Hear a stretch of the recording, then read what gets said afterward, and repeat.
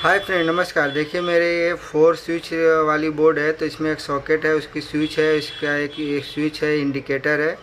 तो इसी बोर्ड में हम मैं वायरिंग करके आपको बताऊँगा किस तरह से वायरिंग की जाती है दोस्तों। तो ये जो बोर्ड है ज़्यादातर जो बिल्डिंग की टावर चाहे बिल्डिंग की टावर छत पे जो रहता है जहाँ पे एक बटन से एक होल्डर जैसे बल्ब जलाना रहे तो वहाँ पे काम करता है इंडिकेटर से पावर पता चल जाएगा कि हमारे बोर्ड में करंट है। और सॉकेट से जो नॉर्मल जो भी काम करना रहे, छत पे कर सकते हैं।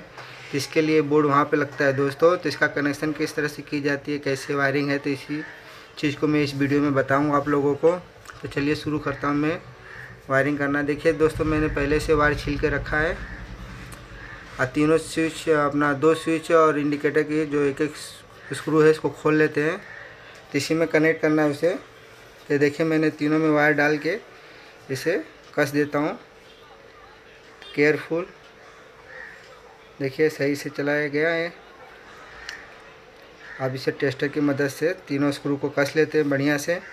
देखिए दोस्तों नट है टाइट रखिएगा ज़्यादातर। लूज रहने पे क्या है पावर मिलती है तो लोड पड़ता है तो स्पार्क के अपना चाहे स्विच चाहे इंडिकेटर ख़राब हो जाएगी, जल जाएगा। इसके लिए उसको अच्छे से टाइट करिए स्क्रू टाइट रहेगा तो अच्छा रहेगा दोस्तों। अपना स्विच और इंडिकेटर ख़राब नहीं होगा। तो देखिए हमारा तीनों कनेक्शन हो गया है। नीचे लूप कर दिया है यहाँ से पावर मिल जाएगी। ये देखिए एक वायर है, जहाँ सॉकेट का एल लिखा रहता है। वहाँ पे एक छेड़ा वहाँ पे रख के कस देते हैं, जहाँ से उसे सप्लाई मिलेगी। एक छेड़ा यहाँ कसा गया। और दूसरा छेड़ा देखिए यहाँ पे लगा देंगे। स्विच के ऊपर जिससे यहाँ से इसे ऑन ऑफ़ करेंगे तो पावर सॉकेट को मिलेगी दोस्तों, इस तरह से कस देंगे।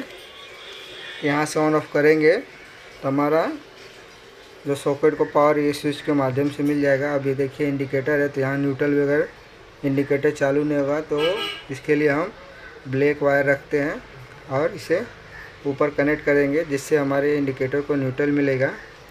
और इंडिकेटर चालू रहेगा दोस्तों। तो देखिए, एक छड़ा रख के हमें टेस्टर की मदद से अच्छे से टाइट कर लेते हैं। और दूसरा छेड़ा जो है सॉकेट के जो एंड में लिखा है ना, वहाँ पे कनेक्ट करेंगे। तो वहाँ पे न्यूट्रल बाहर से लाने के लिए एक वायर लेंगे। ऐसे भी इसके साथ लूप करके हम सॉकेट में जो एन लिखा हुआ है न्यूट्रल वहाँ पे कनेक्ट करेंगे, जिससे हमारा इंडिकेटर भी चालू हो जाएगा न्यूट्रल मिल जाएगा उसे हमारा सॉकेट भी चालू रहेगा। उसे न्यूट्रल मिल जाएगा। तो हमारा दोनों चीज़ चालू हो जाएगा। तो देखिए इसको नट को खोल के हम ब्लैक वायर को कस देते हैं इसके अंदर। कस के अब इसे न्यूट्रल मिल जाएगा। अच्छे से अच्छे से कस देते हैं। देखिए कसा गया। तो इसे मिल गया न्यूट्रल दोनों चीज़ को। ये देखिए यहाँ से पावर हम आएगा तो पहला स्विच में जाएगा। देखिए, ऐसे आके स्विच में जाएगा इंडिकेटर में जाएगा, फिर स्विच में जाएगा। तीनों में पावर रहेगा हमारा। ये देखिए, यहाँ से न्यूट्रल मिलेगा तो हमारा इंडिकेटर चालू हो जाएगा। और यहाँ से न्यूट्रल आएगा, यहाँ से बाहर से न्यूट्रल आएगा। ये देखिए, यहाँ से पावर सॉकेट को मिल जाएगा। अब इसमें होल्डर का कनेक्शन करके मैं आप लोग को चालू करके दिखाता हूँ किस तरह से काम करता है दोस्तों। तो देखिए, मैंने होल्डर लिया है वायर जुड़, जुड़ा हुआ है। अब इसे मैं कनेक्शन करके आप लोग को दिखाता हूँ। देखिए ब्लैक वायर है रेड वायर भी है। तो हम पहले रेड वायर को स्विच में लगा के दिखाता हूँ आप लोगों को, देखिए।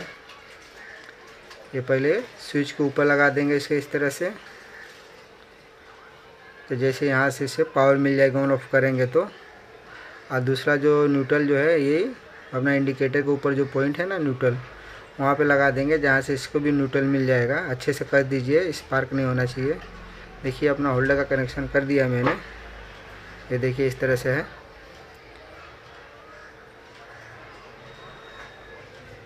अब देखिए, मैं इसको चालू करके आप लोगों को दिखाता हूँ। देखिए, अपना इंडिकेटर चालू है। अभी बटन चालू करेंगे तो बल्ब भी चालू होगा, सॉकेट भी सब चालू होगा। दोस्तों, अगर ये वीडियो आप लोगों को अच्छी लगे तो हमारे वीडियो को लाइक करना, चैनल को सब्सक्राइब करना, हमें फुल सपोर्ट करिएगा दोस्तों। अपना प्यार दीजिएगा। तो देखिए, यहाँ से ऑन ऑफ़ करने पर हमारा सब चीज़ चालू हो रहा है। देखिए, बटन चालू करने पर बल्ब भी जल रहा है और यहाँ से सॉकेट भी चालू हो रहा है। हमारा बल्ब भी चालू है इंडिकेटर भी सब चालू है। Thank you